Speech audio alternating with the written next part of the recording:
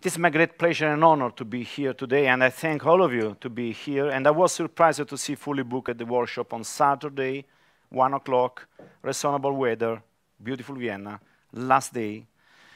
And I will try to satisfy the expectation, trying to show you my experience and my ideas and the experts' ideas, motivated from guidelines, reported in papers, but showing in the daily practice how to use the tips and tricks to obtain what is called the warranted or the tailored examinations.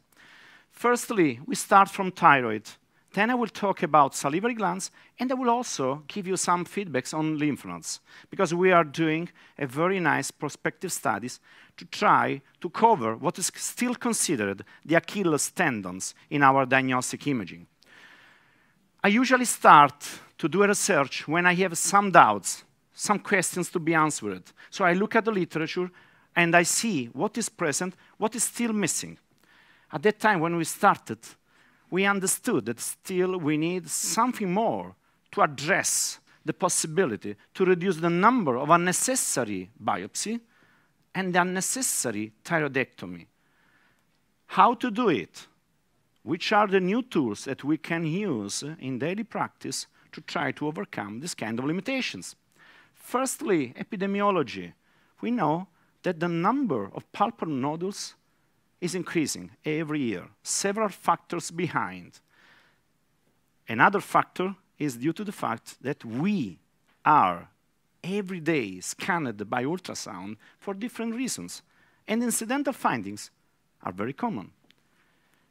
We have to take in account that in general, the majority of thyroid nodules are benign. However, also the incidence of the malignant ones is increasing. But then at the end of the day, we have to ask, what is the real outcome of these patients. How many of them really needed to be treated soon, and how to choose the right surgery or the minimally invasive treatment as well. What we usually do, first imaging modality is ultrasound, color Doppler ultrasound. It is very effective to depict also lesions that are smaller than one centimeter. We are detecting sub-millimeter lesion right now. But this is also a problem, because unfortunately, to characterize those very small, tiny lesions is very complicated.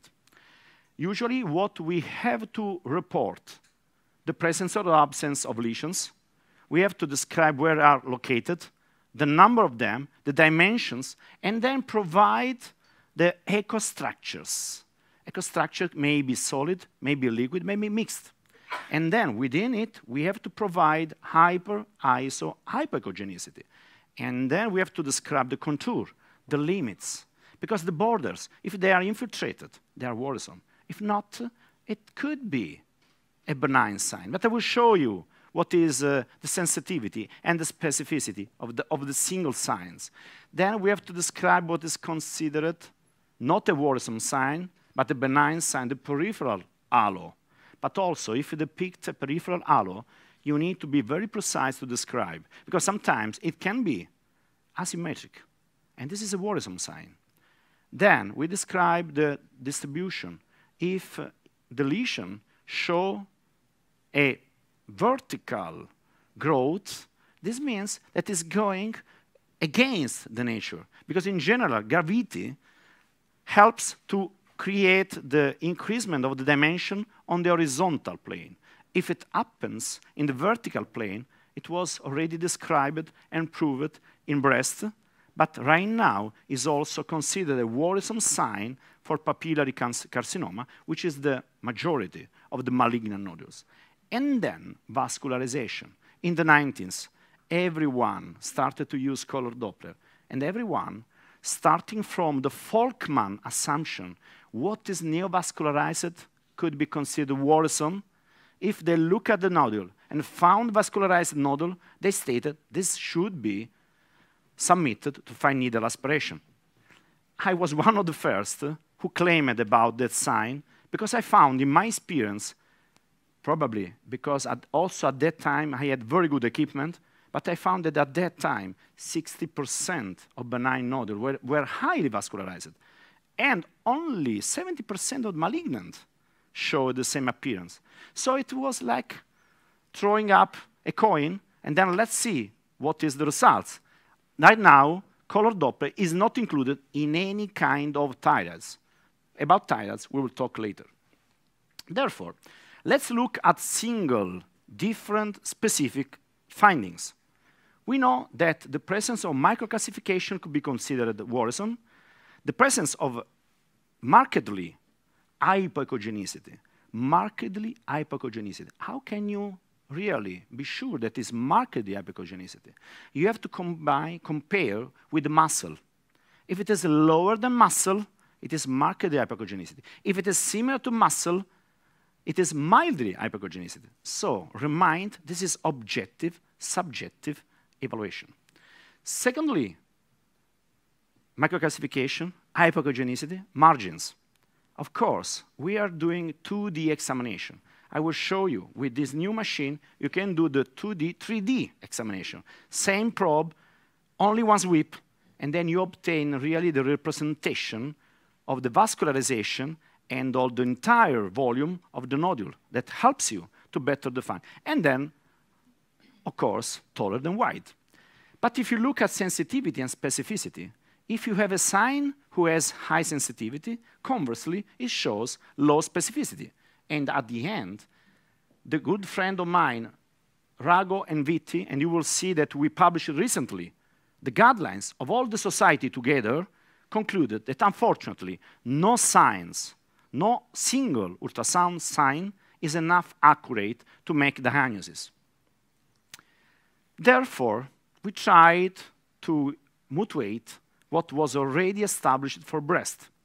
From BI-RADS, we started to use TI-RADS. Unfortunately, to now, we have nine TI-RADS, not universally used. Why? And I, I would like to ask you, how many of you use TI-RADS? Okay, 15, 20 person over 80, 90 is not bad. In general, the number is lower. But which TI-RADS are you using? European? The original, the first one. So the Horvath. Yours. Yeah. So European. Okay. I will show you some results about the comparison between them, but still there is much confusion. So we need to go through it. According to the presence of the literature, to now, the most used is the K WAC, the Kwak. But, and according to it, we suggested to use TI-RADS. However, look at the consensus, 57%. 60% of the experts were in favor of TI-RADS, 40 were against. Why? Horvath.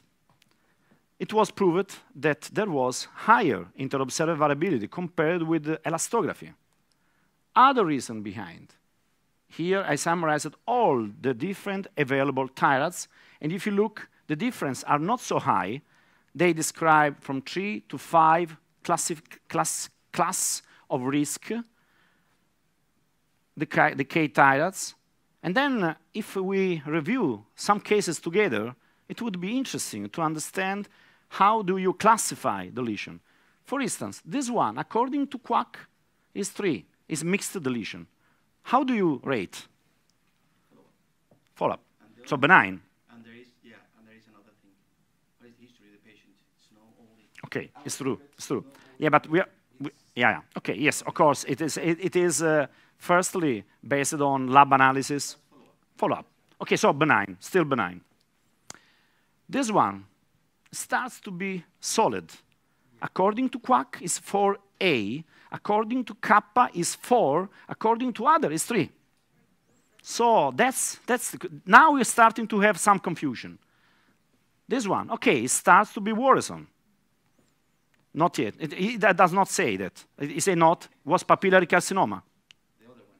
Yeah, the other one. That, that's strange. I, I know, I know. Unfortunately, and I will show you the results, also using TI-RADS. This one and this one, taller, microcalcification, fairly marginated, hypoechogenicity. Okay. What we did, we did the review retrospectively with all the endocrinologist group in my university. I have the luck that I have a very good endocrinologist. One of them published three papers in JAMA, one in New England Journal, and now is really, really the one who is followed to understand the natural history of the nodule. Because what is important is to understand, if I follow up this patient, this, this nodule, how much does it increase in size? And then, if it increases in size, how much of the number of those nodules will be malignant or benign? So what we did, we compared the different TI-RADS. Because, because still too many biopsy, so we need to find a way to reduce the number of biopsy. Then, unfortunately, inter-observer variability, time-consuming, and confusion we found at the end of the results that the American one was quite better in sensitivity, but not in specificity. And the others, the K TI-RADS and the others, were very similar. If you look at this table, sorry, here are all the different TI-RADS. Here are the numbers. You will see that are very, very similar. And the European and the ACSA has better sensitivity, but look at specificity, dramatically low. This is uh, how do they summarize the different uh, also possibility to decide according to the size, according to the score, which one is the nodule that should be submitted or not to fine needle aspiration. At the end, we know that we really work on it to find a way to reduce the inter-observer variability, to reduce the consistency, the time consuming. Therefore, we started also to look at different classification, different society recommendation, which one are the one that should be submitted to fine needle aspiration. Also in that case, there is no universal consensus. And if you look at fine needle aspiration, how many of them are really effective? 10% first try can give false negative results. Can be reduced, but still it is a, a non-invasive, but still invasive procedure, and cost. Therefore, we started to use something new. We know by the ancient Egypt, and it is due to Hippocrates, that we included palpation as part of physical examination of our patient. However, we know also that digital palpation is subjective and limited. Depends on the patient, depends on your experience, depends on where the lesion is located. MRI was the first imaging modality to include the study with elastography. However, the results are not yet very well established. It work for prostate, it work for liver, it work for brain, but still is not included in the daily life. And the software are expensive and not widespread used. Therefore, ultrasound field started to use this kind of new software, the elastosonography. It helps us to show tissue stiffness or deformability rather than anatomy. And combining the two information, we try to have another additional value of our examination we have to divide two different types of elastography. The strain, or so-called quasi-static, means that you can uh, palpate through the probe the nodule, and then you make compression, or you may use the pulsatility coming from carotid artery, and then you achieve the deformability of the nodule, and according to it, there will be a colorization of the entire field polychromatic map representation, qualitative subjective evaluation.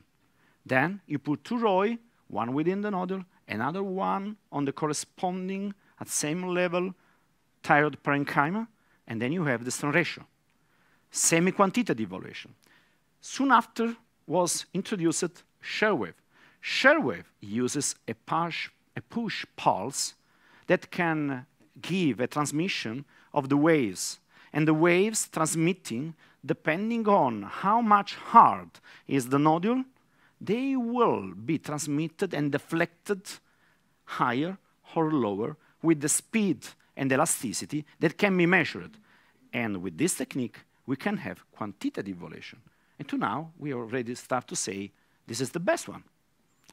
Let's discuss about it, and I will show you what is the evidence to now of all the experts. Firstly, when we start to do something and when we need to convince patients and firstly ourselves to do something, we need to remember what Claude Bernard was used to say in his introduction of the study of experimental. Experimental medicine is nothing more than a reasoning by means of which the ideas undergo onto the control of facts. What we need, we need to have robust data coming from multi-center studies, or we need evidence-based guidelines. We were lucky to have the possibility to work together, radiologists, non-radiologists, under EFSUMB umbrella, and we did publish several guidelines in different fields, CEUS and now ELASTO. These are the two that we firstly published in Ultraschall. Good news, you can just Google EFSUMB website and you can upload for free. As editor of Ultraschall, I'm pushing on Ultraschall to make more educational paper for free for everybody. Secondly, WFUMB, that is the World Federation, also published personal own guidelines. I was uh, one of the few of EFSUMB involved also in thyroid and prostate guidelines, and we publish in ultrasound medicine biology. Not good news. These are for, not for free, so you have to pay, unfortunately. Ultrasound medicine biology still does not allow. How does work? You press, and then you have this representation.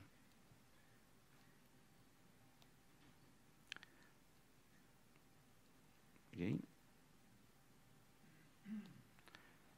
Or you just press a button, there is a transmission of the waves, and the waves arrives here, and here you have a specific, unique feature provided by this machine.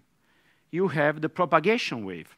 So you can see real time, parallelly with all the other images, baseline, shear wave, plus on kilopascal or meter per second, and then you can really see how do the waves propagate? And according to it, I would like to remind to all of you to find the right protocol to obtain better results. And I will show you how to do.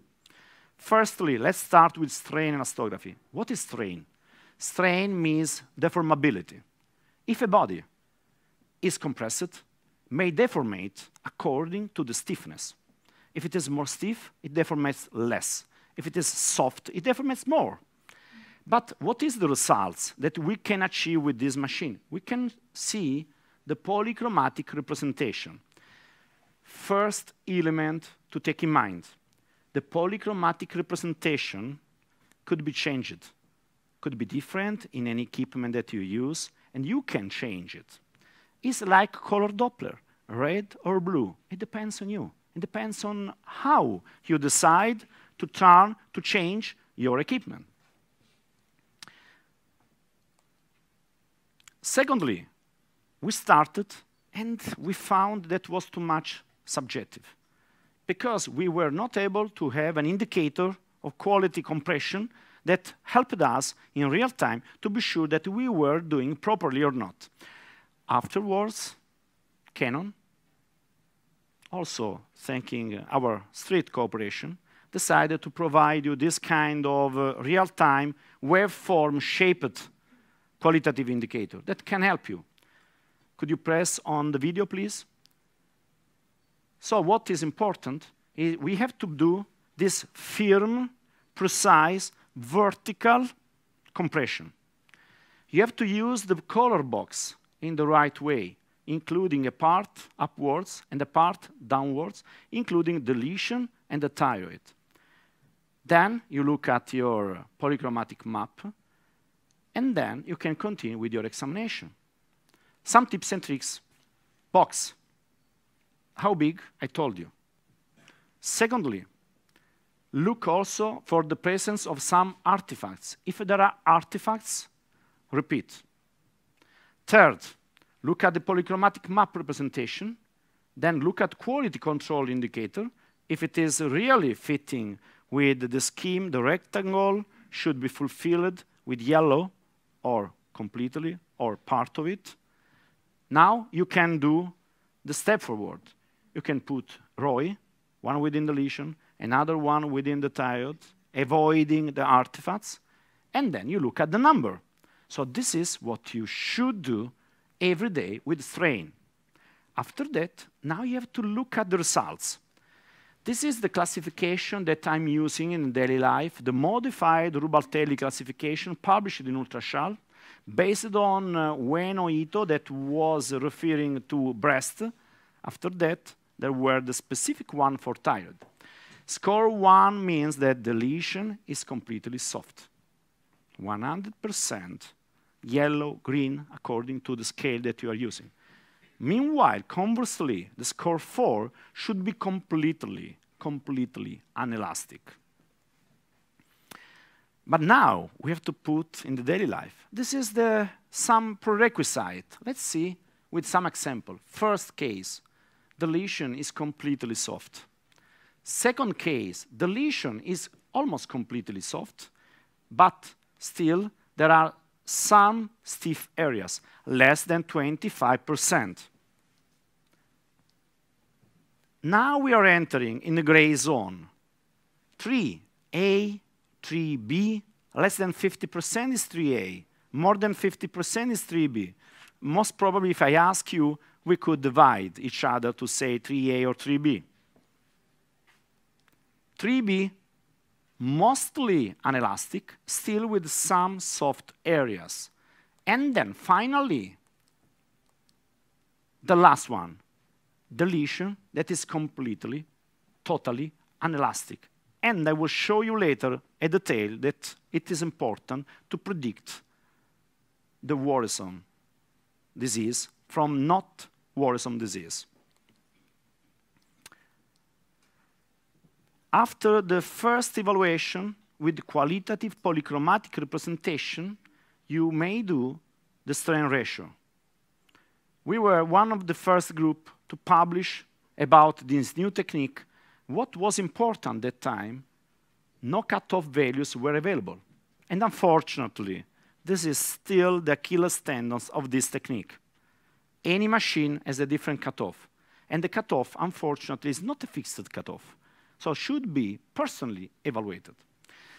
With this machine, usually, now there is a consensus of all the experts that 2 plus less 0.5 could be the cutoff value. So this is what I usually I do. The best B mode image. Then you do elasto. Then you do the evaluation with the strain ratio and then you compare, of course, with the cytology or histology. This was a benign lesion. This was the worrisome one that I showed you. Look, completely blue. Then we put to ROI. Look at the number. Number is very high, 7. But what is also important to underline? The size. If a lesion, after the strain elastography, increases in size compared with the baseline, this is a worrisome sign. It was reported for breast, but there are three, four papers right now in literature that are confirming, and also my pathology are confirming that when I tell, told them, you know, it was 8 millimeter, after elasto is one centimeter, this is a worrisome sign. And also Richard Barr and other experts agree about it. So this is what usually I report. This is a lesion, I describe the lesion. I describe strain elastography, and then shear wave I will show you later, and then I conclude with my assumption.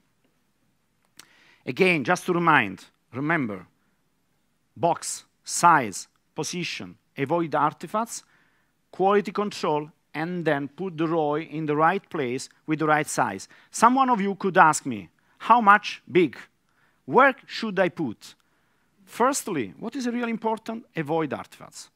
Secondly, you have to include the, size, the, the, the, the, ROI within the lesion. And then you can have the corresponding size on the thyroid tissue. Of course, sometimes we don't have enough space. So we have to adjust. And this is the, the, the, reason because, unfortunately, also in the expert hands, the results are no more than 90% of sensitivity. In the literature, a lot of papers, especially from China right now, most of them are confirming that this is a promising, established now, technique. Also, we try to understand what are the limitations. We published a special issue in European Journal Radiology, and what was clear, remember carotid pulsatility, operator dependency, patient dependency, equipment dependency are the main reasons because you are not doing and you are not achieving the right results. Also, we published with Richard Barr a very good book that I suggest you to read because we included everything. But this is the first part. Now let's move on with something else. And something else is the new horizon, is the shear wave. When you throw a stone in the lake, you create the, the waveform. And this is what is happening when you push the, the button and then you start your examination. To now, there are three types recognized, the single point, the 2D, and the 3D shear wave. Again, the scheme I showed you, but what are the results? You can have the propagation mode, then you have the representation in kilopascal and meter per second. Of course, right now you can do in real time, all together, grouped together, to find the right results. Again, my suggestion, quality control, propagation mode. Where they are more parallel, ROI, avoiding artifacts, firstly. Secondly, look at the results, and then you gave your report. Unfortunately, we know that cutoff value for shear wave is even more variable than strain elastography. Secondly, remember, not all the cancers in thyroid are stiff. 10% of them are soft. So the suggestion is to upgrade if a lesion is not worrisome at the baseline, but becomes worrisome at elasto, you can upgrade the score. Conversely, don't downgrade. Let's look at some recent case. How do you classify this case? TI-RADS 3, 4, 5. Simple. Okay, benign or malignant? How many for benign? Nobody. How many for malignant? One, two, three. Okay, the majority. So we started to do, we measure it to see if there is taller than wide or not. Then we put color Doppler, SMI, super microvascular imaging, that is another innovation, and 3D SMI, that showed better that the lesion does not have any clear vascularization within it. So the statement, vascularized worrisome, mm, is not really fitting with the reality. Let's look at elasto. How do you call this elasto? Worrisome or not? Worrisome. The number, six. Shear wave, five meter per second. In general, with this machine, more than four meter per second, more than 50, from 45 to 60 is better. Okay, depends. If you want higher sensitivity, so it's better 60, 45. If you want higher specificity, 60.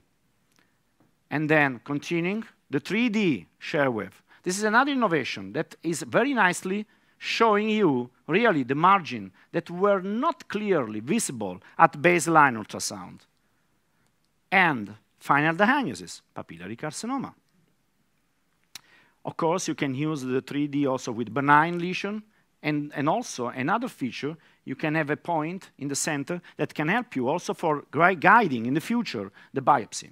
What about literature? Some meta-analysis showing and confirming that unfortunately still we have so many cutoff values. So shear wave is still not at the point in which we can use in the daily practice very useful. Elasto should be considered additional tool, should be used properly should be avoided in, in, a case in which is grossly calcified or with a cystic tensive area. Otherwise, you can achieve fast positive results. WFUMB confirmed strain elastography can be used. Still not recommended as should, but we will see at the end. Still not so many papers. And this is anticipation. This is under press in ultrasound. We group it together, and now we, we rewrite it, should be used. So we suggest to use Elasto as an additional tool. What about CEUS? We were also one of the first group to show that it's better strain elastography than CEUS. However, you can have qualitative, quantitative evaluation with CEUS, especially in order to evaluate the treatment of those nodules. This could be useful. But according to our guidelines, we do not recommend in the clinical practice. Let's look at what we usually can do. This was a patient that was submitted to FNA and then was treated with alcoholization. Color Doppler, SMI, SMI, 3D SMI, look at the nice representation. Again, different planes, different possibility to show nicely the vascularization. Strain elastography, again, soft lesion. Shear wave, confirming that is really soft lesion. CEUS. CEUS showed the very similar appearance to the surrounding parenchyma. This is the subjective evaluation. As you can see now, the quality of a single bubble representation is very high. But this machine has another feature. You can have the polychromatic representation of the time arrival of the contrast agent. And if you see here, they have the same timing. And then you can put the ROI and you can compare. Conversely, could you click on this case, please? Worrisome lesion. Confirm that was malignant. Look at the CEUS. No vascularization. 30% of malignant nodules are non-vascularized. So we have to take in, in account. Have we done? Not yet. Have you had your lunch? Not yet. So you have to wait for eating. Because we have to ask us, SLE or shear wave, we need data. And now we have data. We just have this paper accepted on ultrasound, and we showed that strain ratio has higher sensitivity than shear wave, together can be combined to better provide a better specificity. We did this uh, very long study, including a relatively good number of patients, and then at the end, we, we had the results. What we did, we did classify with the Kwak. Of course, we can do with others. We will do it, we will try. We can also cooperate to use it because we have data, so we can review the cases.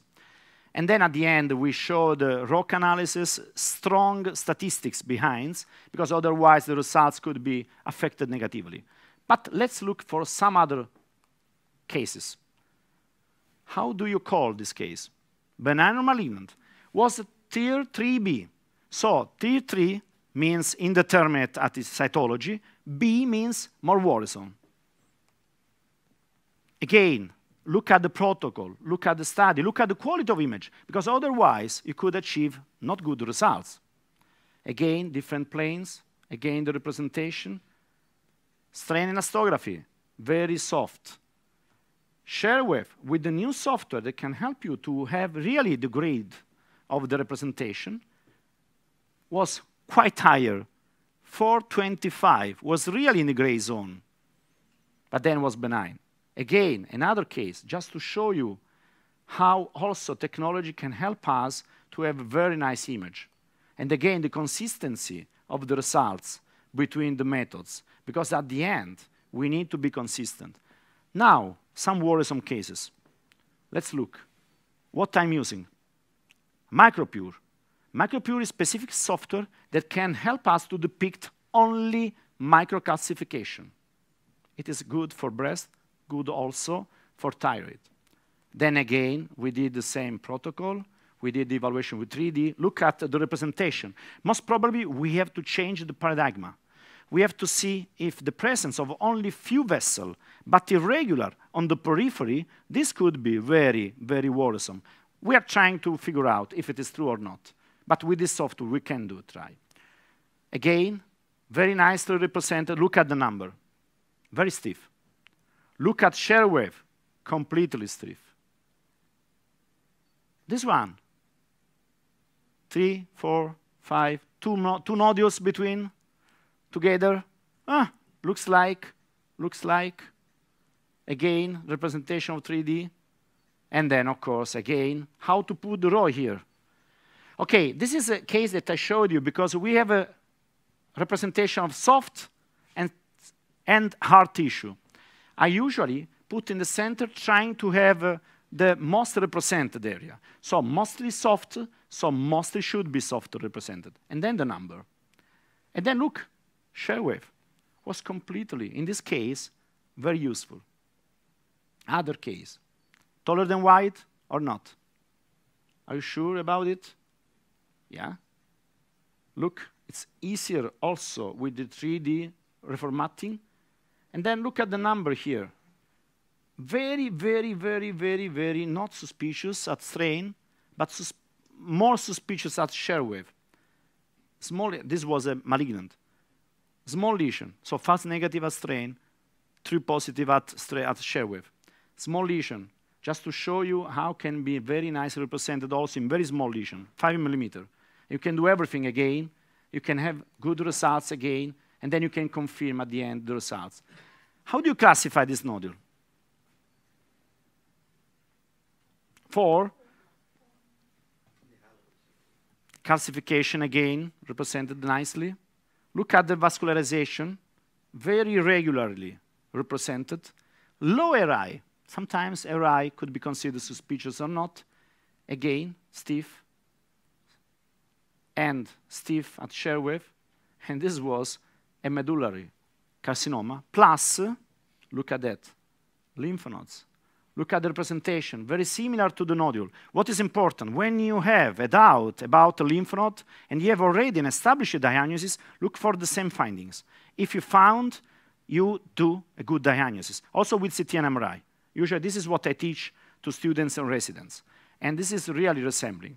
We also published the paper trying to put together the results of medullary carcinoma. Unfortunately, there is not clear consensus about how to describe medullary carcinoma.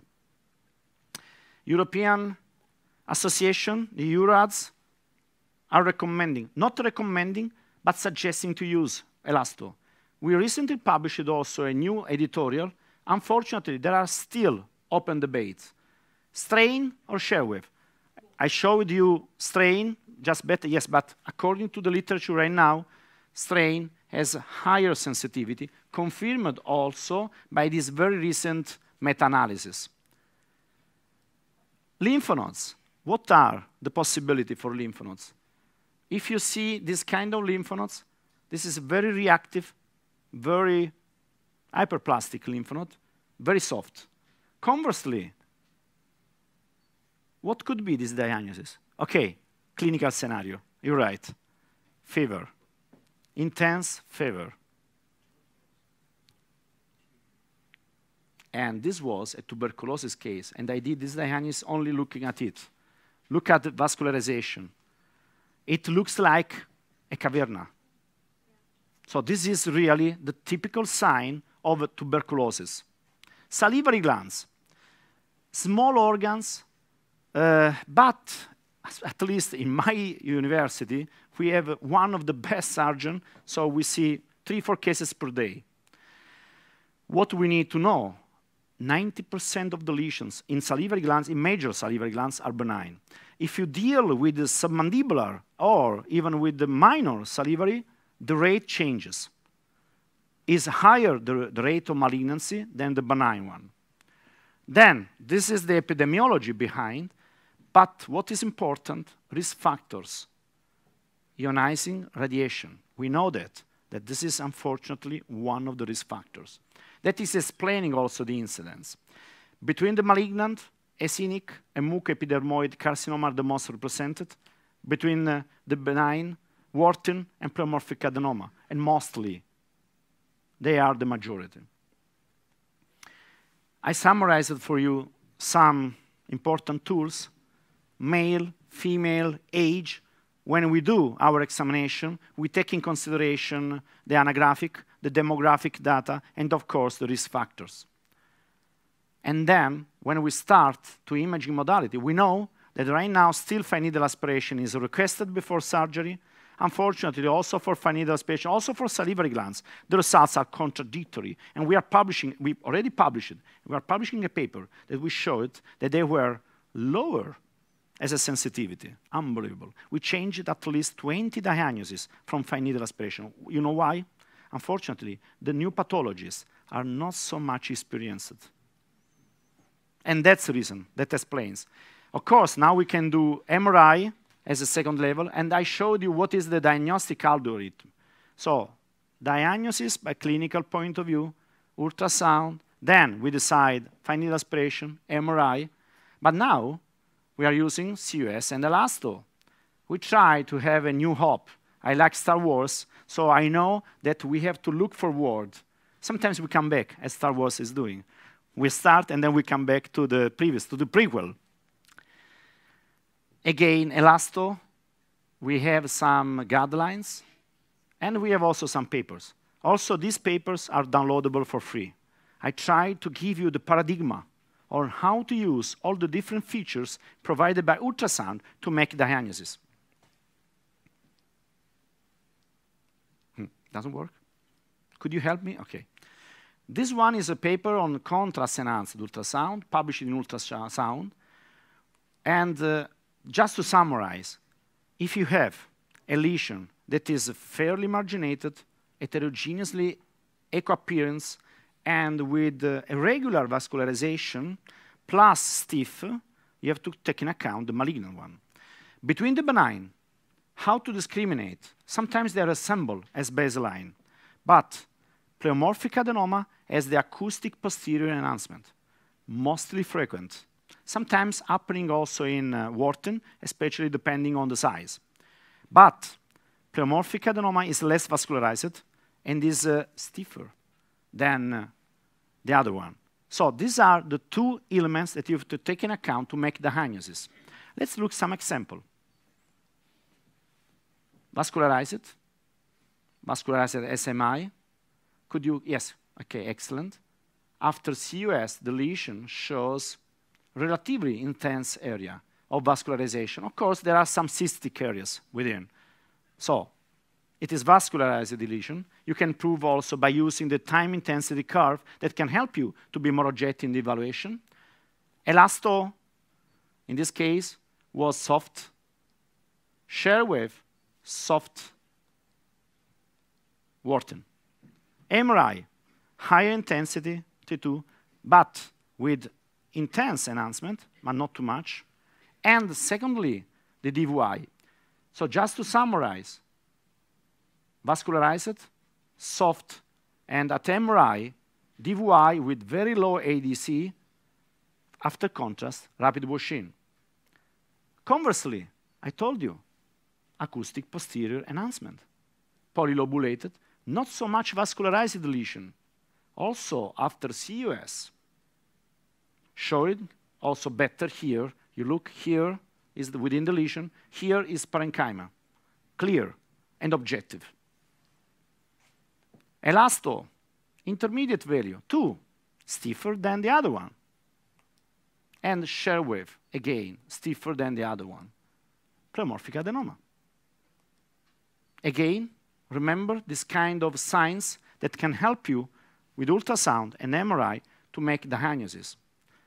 Other case, lymph nodes or pleomorphic adenoma. There are some hyperechoic area within the nodule, but let's look at vascularization. Have you seen unique pole of vascularization? No. There are some vessels, but not entering in the, that area. That should be the hilum representation. So this helps you to discriminate if there is a lymph node or a lesion. Then Elasto, stiffer, stiffer. And contrast and answer, could you please click on the video? I would like to thank you, please. Okay. Only some Bibles within. So this was a pleomorphic adenoma, proved by cytology. In conclusion, we have to use both of them to try to enhance the features that I try to give you as tips and tricks to characterize those lesions. Recommendation, still CEUS is not recommended, but is an active field. I showed you baseline with the high-end equipment. I showed you color Doppler. I showed you SMI, 3D SMI, then Micropure, then Elasto, then CEUS. At the end, we have to do what we call it as first multi-parametric ultrasound evaluation. Remember, I usually show this, case, this image on my because I, I ask myself, how can be better? I have to be trained. I have to be aware of what is present in the literature. So read. Then use properly your equipment. Try to avoid artifacts. Follow the protocol that I showed you. At the end, this is a picture from Fontana, from, from, from uh, Piazza di Spagna. And uh, I would like to remind you that in November, I'm organizing, together with Francesco Drudi, who is present here, and other experts, Carla Serra, Mirko D'Onofrio, and Richard Barr, and Paul Sidhu, and others will be present, Clevert and others. In Rome, November 15, 16, the weather would be warm enough. I hope not to show you the rainbow that sometimes happens in front of beautiful Colosseo. I thank again Wesam, Christoph, all of you for your kind attention. And we have uh, 10, 15 minutes for questions, and then I can show you practically how to use uh, in the daily life your elasto. I hope that you were not annoyed. I don't know if you have uh, the third peristaltic wave. I hope not, but I thank you for, for your kind attention. Yeah, Peter. Many thanks for your exciting and uh, uh, very comprehensive lecture. It was fantastic. Also, your a lot of literature and a lot of experience uh, in this in this uh, presentation. Thanks again. So, are there questions uh, from the audience? For a lot of questions, I'm sure. It's a, such a hot topic. None, or None. too much confused, or too much uh, satisfied. I don't know. I don't know. We'll see later. But okay, we will start to show you practically, and then you can continue to ask if you want.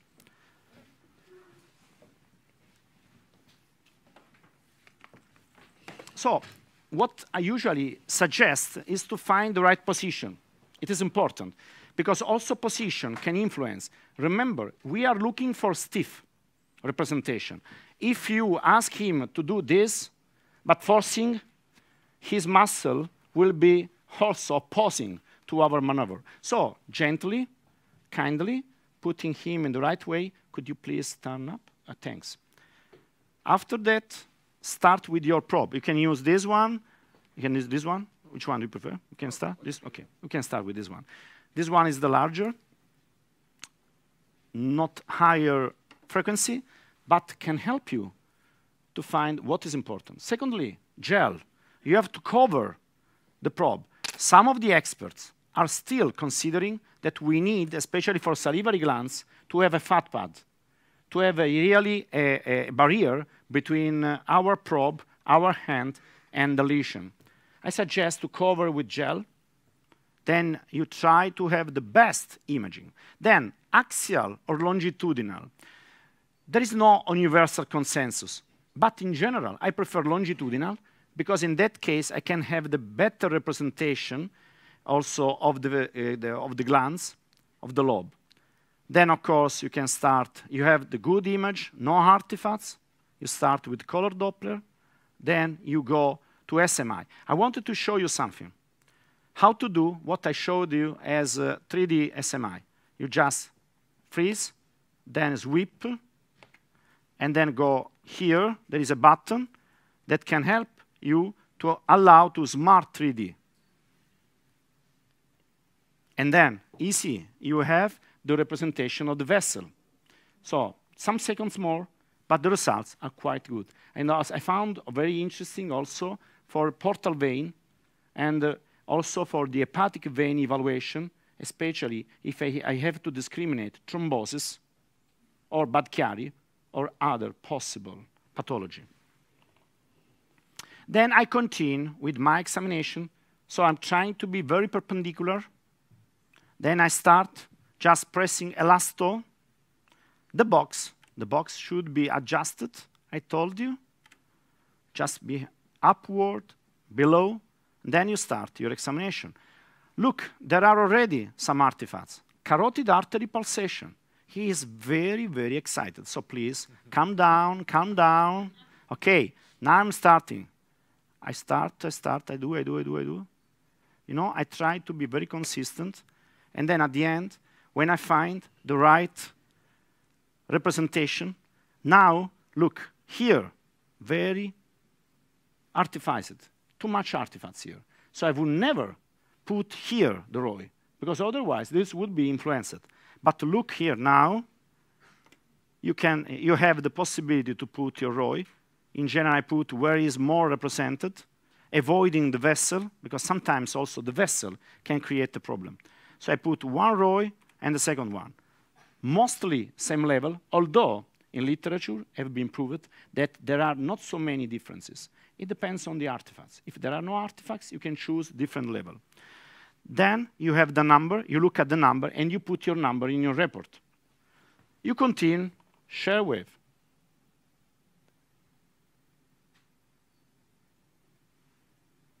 Press the button, again, you put here, then you, you, you install set. Can we show the four representation? Quad view. Ah, you have the quad view. Now, what can this machine allow you to do? You have the representation of B mode and any other. Now, you can put the ROI where? Where I told you. Avoiding the vessel, avoiding the artifacts where the line are more parallel. So, for instance, here, look at the number expressed in kilopascal and expressed in meter per second. There is no consensus about it.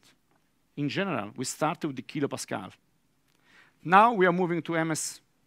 We will see. Still, we have to need to work on it. So I showed you what we can do with all the different, but still, there is something else. I told you micropure. So you put micropure, and then you look for possible calcification. There is a vessel here, look. And in the vessel here, there is a very, very tiny calcification, very nicely and precisely depicted. So also in a normal patient, you can find something to show how to use a different software. If someone of you wants to try, I can help you to try and to do. Who wants? Don't be, don't be shy, don't be shy. Okay, or better, do you have any other possible question for me? May I sat satisfy some curiosity?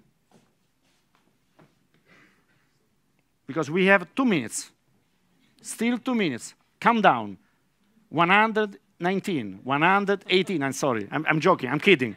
But I like the scheme in 007 or in Austin Powers when uh, Dr. Evil is saying, calming down.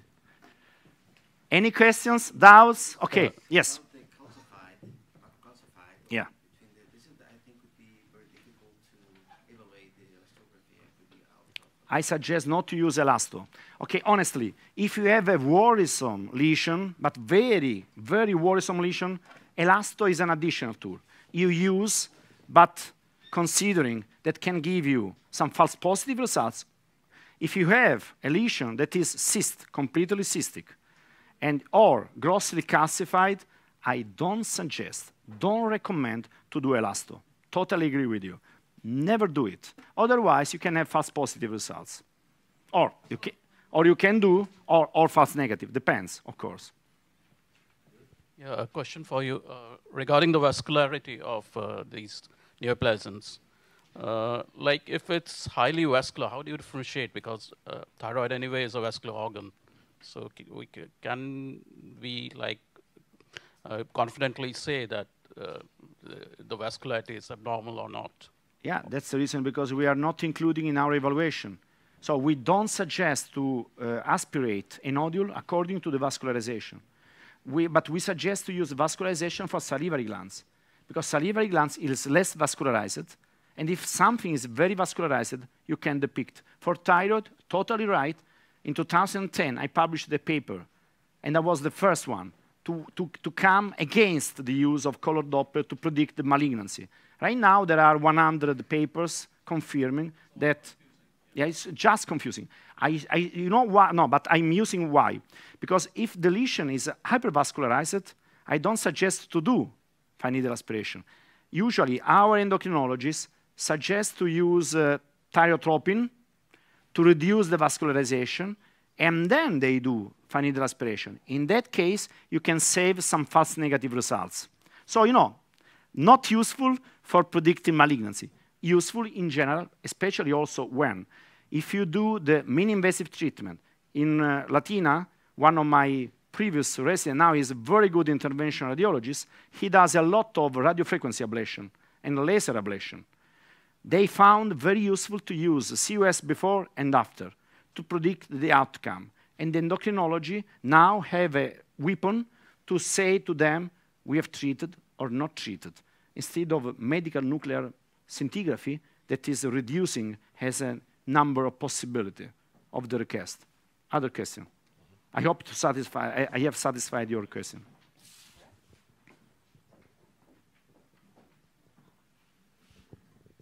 Hi, thank you for the lovely presentation. Um, I was wondering which of all these um, improvements has actually helped you reduce your biopsy rate, because that's really what's killing us at the moment. We reduced it by 10%. Right now, when we saw a lesion that was really not worrisome, although it was more than two centimeter, because, okay, according to the, the, the society guidelines, if you follow the European, if you have a lesion more than two centimeter, you have to aspirate. The American one stated 1.5. Others, one centimeter. Honestly, to now, we are evaluating, since we published the data about the growth at interval and the correlation with malignancy, if the lesion does not show any suspicious uh, features, really suspicious features, we don't aspirate. For instance, the TIDAS 3A, I showed, but we published three papers. To now, we saw that uh, among 1,000 of cases, so 1,000 cases that we have done right now with the 3A, we saved more than 90% from the operation. Because we achieved 90% of sensitivity by using Elasto. Still, we are working on it to try to reduce even more. But we reduce by, for instance, at least 10% for sure. Of course, we have to try, the, the surgeon should trust us, and also the patient. But if you explain that in the worst scenario, also posticipating, postdating the operation, the outcome will not be uh, uh, accurately and too much uh, affected, the patient accept. You know what? Because we are using also the worrisome sign. If I found, okay, according to the American guidelines, if you have a worrisome lesion, TIRADS 5, but less than uh, 8 millimeter, they don't recommend to operate. They recommend strict follow-up. But in those cases, if I see that there is an increasement in size, I suggest operation, although if it is 5 millimeter, eh, or if you have lymph nodes, or if you have other signs, if the lesion is located nearby the trachea, in that case changes we suggest operation also if they are very small, because unfortunately, these are the cases that may be very aggressive. In general, thyroid carcinoma is not aggressive, but 5% of them can be. So we, what is the real issue that we have to address is to find a way, putting together all the technologies that we have right now and thinking uh, the improvement we need and we hope that some more new one will come out very soon to reduce those number of patients that we have not to miss. And for the intermediate ones, which you don't aspirate? We um, follow up. Yeah, what's the interval you use for It depends. If they are classified as uh, TIRADS 2 and 3, one year. If they are 4, it depends on the classification, of course. Okay, indeterminate, 6 months or 12 months, depending also on the size. If it is more than one centimeter, six months. If it is less than one centimeter, 12 months. Thank you. You're welcome. Prego. Some more questions? Oh, yeah, here. Thank you for your presentation. Um, my question would be if you find two lesions in a thyroid lobe, one uh, being uh, not very suspicious, the other one more suspicious, do you apply separately Yeah. for each lesion all these? Yes. Even if they are close I, I apply together? to both. I apply to both because sometimes, unfortunately, also the non, uh, non, non-worrisome appearing lesion can be stiff. In that case, I suggest to do fine needle aspiration. Uh, in general, what is the ideal that we are looking for? We need 3D real representation of elasto because we need to do to all, to the whole lobe. Unfortunately, still this is the real limitation about uh, our technique, but in general, with all imaging modalities. Thank you. You're welcome.